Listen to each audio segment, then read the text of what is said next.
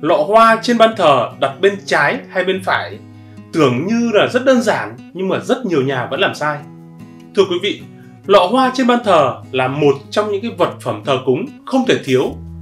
Thường để dâng hoa lên cho tổ tiên, thần Phật và mang lại cái sự trang nghiêm cho ban thờ.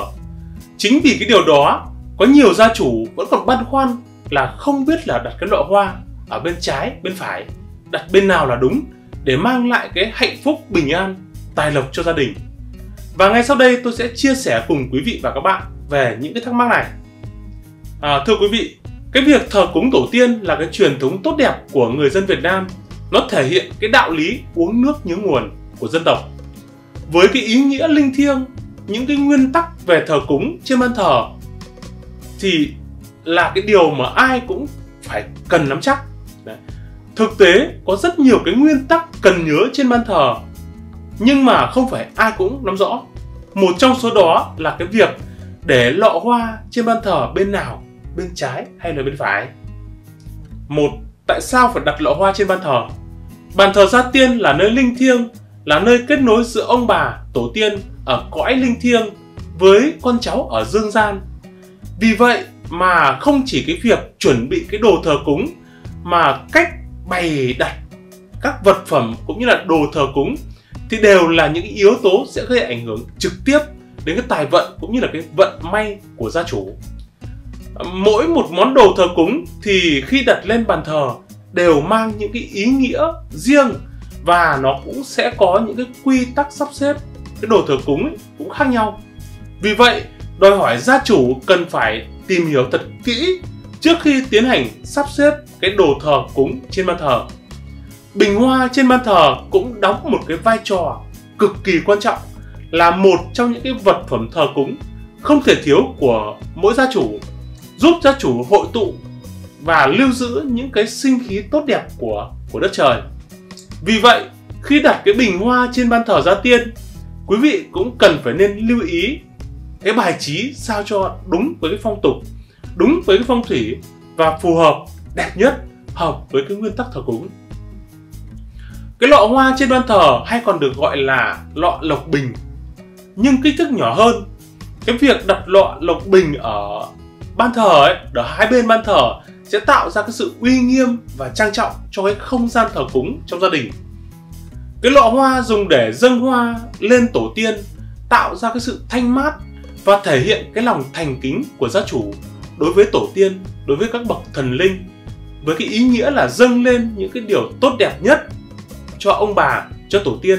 À, bên cạnh đó, cái việc đặt lọ hoa trên bàn thờ không chỉ giúp gia chủ hội tụ và lưu giữ những cái sinh khí tốt đẹp của đất trời, mà còn giúp cho gia chủ tạo được ra cái không gian thờ cúng nó sạch sẽ hơn và tôn lên cái nét uy quyền hơn. Do đó, cái phong tục đặt lọ hoa trên ban thờ sẽ đem lại cho gia chủ nhiều cái may mắn, nhiều cái phước lành và cái sự thịnh vượng từ tài lộc đến gia đạo trong cuộc sống. Hơn nữa cái hương thơm của hoa ấy cũng sẽ giúp cho gia chủ mang lại cái mùi hương dễ chịu tươi mới và tràn đầy cái sức sống cho cái không gian thờ cúng của của gia đình.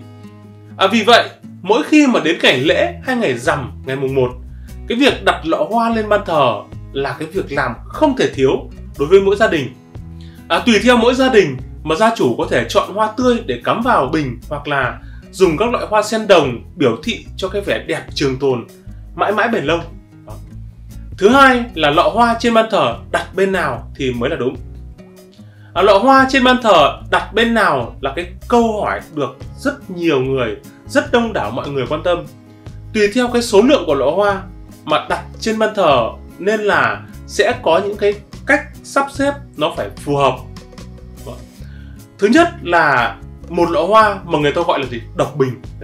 À, theo tìm hiểu về kiến thức tâm linh của người việt ấy à, ông cha ta từ xưa đến nay đã truyền dạy lọ hoa trên bàn thờ cần phải tuân theo nguyên tắc không thể đảo lộn được. Nếu bàn thờ chỉ đặt một lọ hoa thì cần phải tuân theo nguyên tắc là gì? Đông bình tây quả. Tức là ở cái bình hoa ấy, đặt ở phía đông đúng không ạ?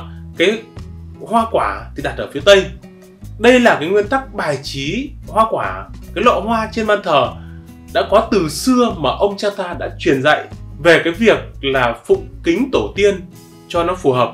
Ngõ hầu con cháu sau này là cái điểm tựa để gì? Hồi cố ông bà tổ tiên. Nguyên tắc này bắt nguồn từ quy luật của tự nhiên. Mặt trời thì mọc ở đằng đông và lặn đằng tây. Cây cối phải đơm hoa rồi mới gì? Mới cho trái ngọt. Chính vì vậy, khi mà bài trí cái đồ thờ cúng thì cái loại hoa luôn đặt ở hướng đông còn mâm ngũ quả thì đặt ở phía phía tây như vậy thì mới đúng theo quy tắc và theo đúng cái luật của trời đất à, cách xác định trái phải trên bàn thờ theo cái hướng đông tây như sau từ trong bàn thờ mà mình nhìn ra ngoài ấy đúng không? tức là bên trái của ông bà đúng không? là phía đông đúng không? dùng theo từ hán dùng theo từ hán việt là phía đông đúng không? Vậy thì đối xứng là bên tả là bên hữu tức là phía gì? Phía tây. Đó. đây là cái quan niệm chung từ trước đến nay.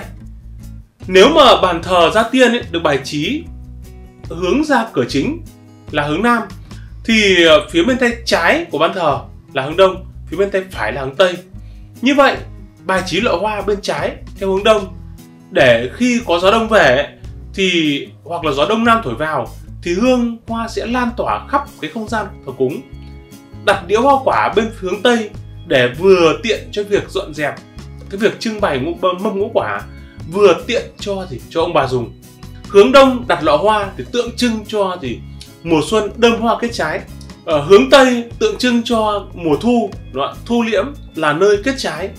Mong muốn cho gia đình có thêm tài lộc, con cháu thì thịnh vượng thành đạt và và sung túc thứ hai là gì? Nếu mà chúng ta có hai bình hoa à nếu bàn thờ gia tiên mà có hai lọ hoa, thì gia chủ có thể sắp xếp ở hai bên đối xứng với nhau và đặt mâm bồng, mâm ngũ quả ở giữa hoặc là gì? Ở phía trước của bát hương. Như vậy thì cũng không làm mất đi cái ý nghĩa tâm linh mà còn tạo nên cái sự cân đối và thanh thoát cho bàn thờ. Tùy theo kích cỡ của bàn thờ và cũng tùy từng nhà, cái phong tục tập quán và cái tùy theo cái cái việc tâm linh mà gia chủ gì bày lọ hoa to nhỏ nhiều ít. Quan trọng là gì? Phải đúng với quy luật đúng với phong tục và phải phù hợp với cái cái ban thờ và nó phải đẹp phải bắt mắt. Ba là cái sơ đồ bố trí lọ hoa trên ban thờ gia tiên đúng không thủy? Cái bộ đồ thờ cúng ấy, thường có gì? Bát hương này có mâm bồng lọ hoa bộ ờ, ngũ sự như đỉnh đồng này hạt này chân nến này hoặc là bộ tam sự như là chén ngai hoặc là hoành phi câu đối vân vân. Cái vị trí đặt lọ hoa trên ban thờ đúng và chuẩn cũng sẽ thể hiện được như sau. Với bàn thờ đặt một lọ hoa còn nếu mà bàn thờ gia tiên có diện tích mà lớn ấy, thì có thể đặt hai lọ hoa ở hai bên để cho cân đối. Đến rằm mùng 1 thì hay là những ngày mà có chuyện thờ cúng ngày dỗ chạp thì nên cắm hoa tươi để dâng lên ông bà, dâng lên thần phật.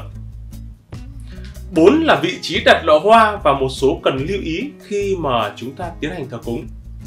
Bên cạnh cái việc là biết lọ hoa đặt bên nào trên bàn thờ, thì gia chủ cũng cần phải biết những cái điều lưu ý sau. Thứ nhất là lọ hoa đặt trên bàn thờ không thể thiếu cùng các phụ kiện như là bát hương, đỉnh đồng sẽ tăng thêm cái sự linh thiêng cái sự trang trọng cho cái không gian thờ cúng. Nếu bàn thờ treo nhỏ thì chỉ nên dùng một lọ hoa để ống hương ở bên đối diện đúng không ạ? Còn nếu ban thờ hoặc là có tủ thờ rộng thì có thể dùng lọ hoa bằng đồng lớn hơn trang trí nhiều nhiều hơn với những nguyên tắc là đối xứng và cân bằng nhau. À, ngoài ra khi gia chủ mà chọn lọ hoa không chỉ cân nhắc đến cái vấn đề về đẹp mắt mà còn phải chú ý chú trọng đến cái sự vững chãi cái sự an toàn và cái chất lượng. Đồng thời cũng phải bày biện sao cho nó cân xứng với cái ban thờ thì mới không bị lệch lạc mới đảm bảo được cái giá trị tâm linh. À, thưa quý vị như vậy tôi đã chia sẻ cùng quý vị và các bạn về nguyên tắc đặt lọ hoa thế nào cho đúng.